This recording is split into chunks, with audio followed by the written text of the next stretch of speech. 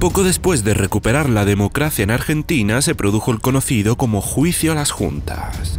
Un proceso judicial ordenado por el presidente Raúl Alfonsín y en el que se juzgó a los integrantes de las juntas militares que llevaron a cabo un golpe de Estado para instaurar una dictadura entre 1976 y 1983.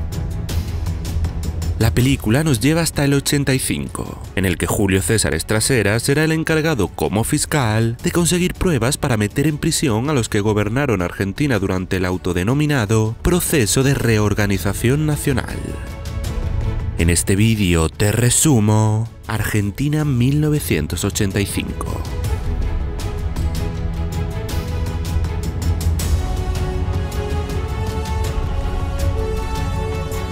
Estamos en 1985. Argentina tiene ahora un gobierno democrático tras haber salido hace ya dos años de una horrible dictadura militar. El fiscal Julio Estrasera es elegido para presentar el caso del gobierno contra la junta militar por presuntos crímenes a la humanidad.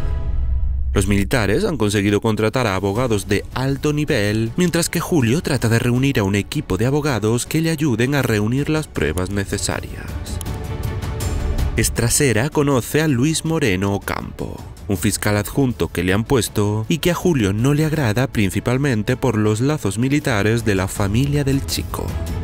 Cuando se ve sin prácticamente ayuda, decide aceptar a Moreno Ocampo, que le dice pueden tirar de abogados recién licenciados en Derecho, ya que los abogados veteranos del país no van a querer manchar su reputación o su seguridad por este caso. Y es que Estrasera, desde que ha sido asignado como fiscal del caso, está recibiendo amenazas a través del teléfono de su casa.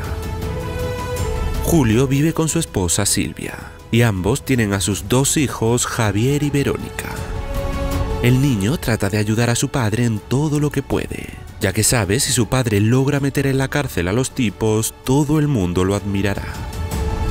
Poco a poco, Estrasera y Moreno Campo reúnen a un grupo de jóvenes de abogados inexpertos que van a poner todas sus ganas en el que puede ser el caso de sus vidas. Debido a que las atrocidades por parte de los militares se cometieron en todo el país, Estrasera y su equipo mapean las áreas donde se encontraban los campos de prisioneros y logran así localizar y entrevistar a un montón de víctimas de la dictadura. Los movimientos extraños alrededor del equipo de Estrasera comienzan a ser habituales, y la seguridad de todos ellos está en peligro. Mientras Moreno Campos se enfrenta a su familia que lo acusa de ir contra sus principios. La madre del chico no entiende lo que está haciendo, comenzando así el primer día del juicio. Este comienza movidito cuando en una llamada se alerta al tribunal de que hay una bomba que explotará si no detienen el juicio. Estrasera logra persuadir a los jueces convenciéndoles de que tan solo es una artimaña de los partidarios del régimen militar para conseguir parar el juicio.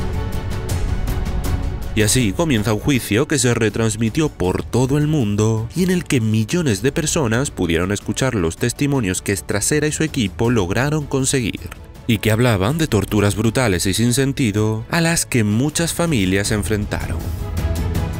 En medio del juicio, Estrasera es llamado a reunirse con el mismísimo presidente. Julio alucina encontrándose con Raúl Alfonsín, que le dice está siguiendo de cerca el juicio y el gran trabajo que ha hecho para recabar tantos testimonios.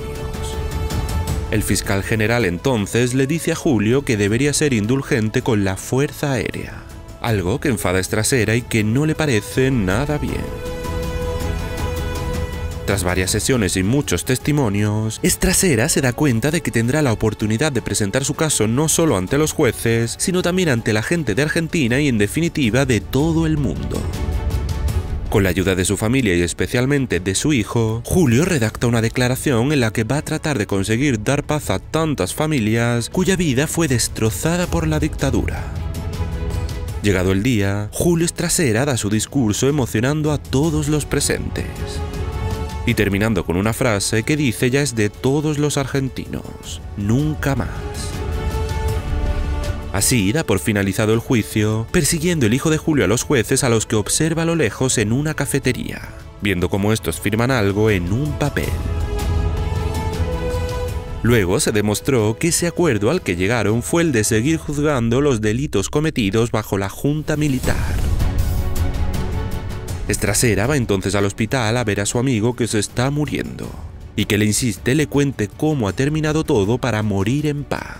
Julio le miente diciéndole que todos los generales recibieron cadenas perpetuas, incluida la Fuerza Aérea, cuando la realidad es que tan solo dos fueron condenados a la pena máxima. Cuatro de ellos fueron absueltos y tres condenados a penas de entre 4 y 17 años. Cuando Javier se entera de las condenas, motiva a su padre a apelar para ir a por la pena máxima para todos. Julio se sienta delante de su máquina de escribir y motivado por una causa de la que al principio no quería ser partícipe, comienza a redactar la apelación.